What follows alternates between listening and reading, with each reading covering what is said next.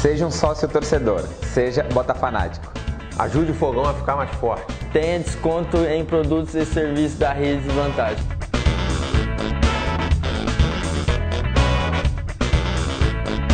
Descontos em produtos e ingressos do Botafogo. Você ainda não é sócio torcedor?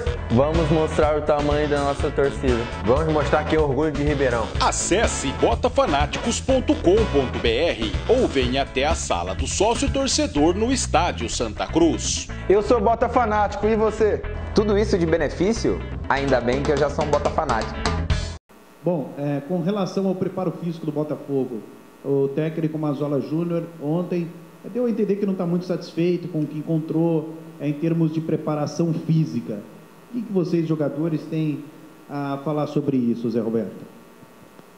É, para a gente, sei, acho que não tem muito o que dizer, né? É, eu acho que os últimos jogos aí, é, é, a gente tem um acompanhamento de, de GPS, né?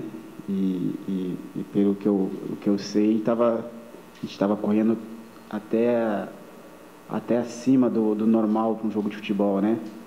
A gente até dizia entre nós que às vezes a gente estava até desgastando desnecessário, né? É, é claro que ontem foi um, um, um, jogo, um jogo totalmente atípico, né? A gente encontrou uma equipe de muita qualidade, que é o Santos, de muita movimentação.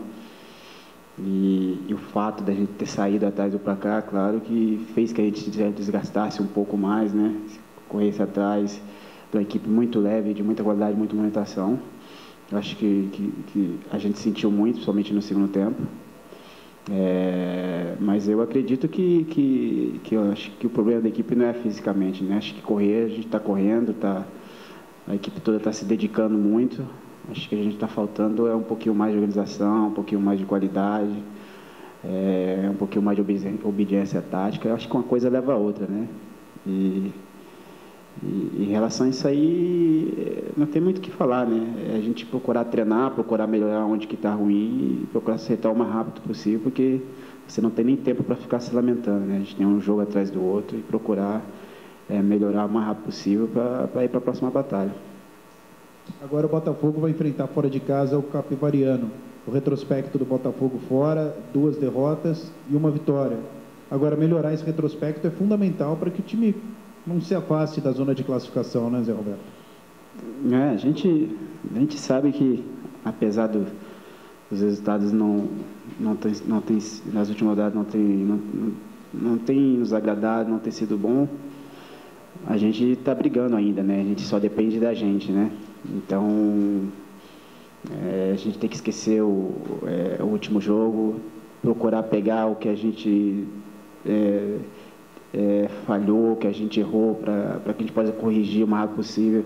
Não tem muito tempo de treinar, então é conversando, é, é chamando a atenção mesmo, é batendo papo. É, e, e, como eu disse, para a batalha, né? A gente, quarta-feira aí, é bom que tenha um jogo atrás do outro, né? Que a gente possa já, já apagar essa, essa atuação ruim que nós tivemos aí e correr atrás, né? Então, está nas nossas mãos, a gente tem que voltar a vencer. Então, a gente sabe que a gente tem condições de ir lá e, e e conseguir três pontos. E se a gente quer algo na competição, a gente tem que, que, que começar quarta-feira. Zé, ontem na saída do campo eu conversei com o Giancarlo e ele falou que alguns jogadores é, estão aí é, conversando para mudar essa postura de campo que você falou, uma obediência, obediência tática maior é, e uma vontade um pouco maior. É, quem são esses jogadores? São os jogadores mais experientes que estão tomando a frente para blindar um pouco esse elenco para retomar os trilhos é, da vitória para o Botafogo? É, um pouco do nosso papel também, né? A gente um pouquinho mais rodado, né? É, é principalmente a gente fica de fora, eu que fiz os últimos dois jogos aí no Banco de Reserva, a gente tem a possibilidade de observar um pouco mais, né? E, e, é, e não só, só, nós, mas todo mundo sabe que a gente tem que melhorar, né? Que, que tem que ter um algo mais, né?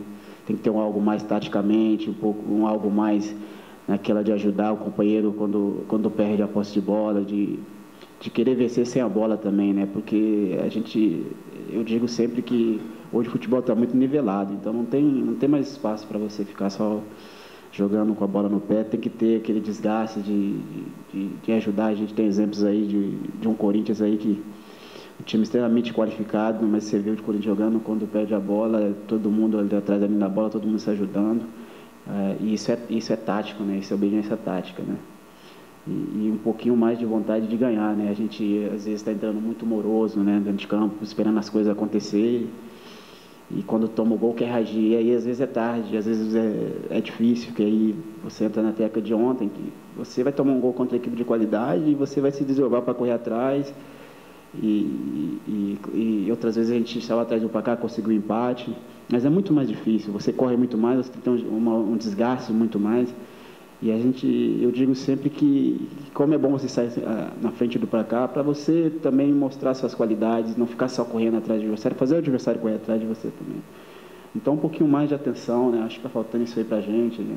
Um pouquinho mais de atenção, somente nesses primeiros 15, 20 minutos de jogo, onde a gente vem sofrendo gols, né?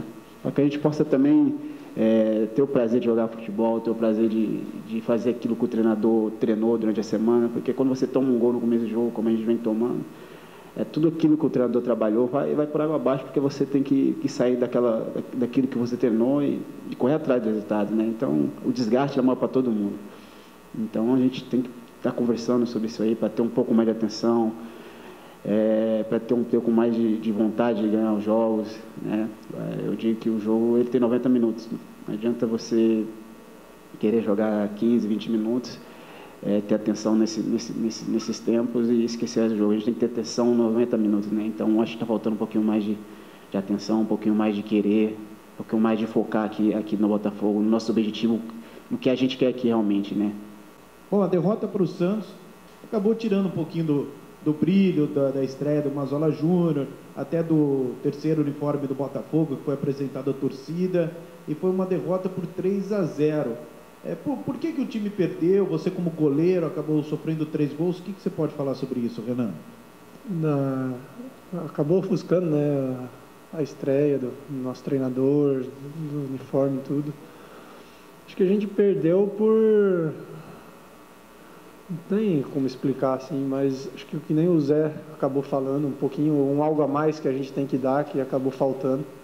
E isso não só nessa partida, mas toda partida a gente tem que fazer isso. Tem que arrumar esse algo a mais. O, o que a gente está fazendo não está surtindo efeito. A gente tem que fazer o, um algo a mais que a gente tira de dentro. Tem que fazer, tirar a, aquela coisinha a mais que você faça uma coisa diferente, uma coisa diferenciada.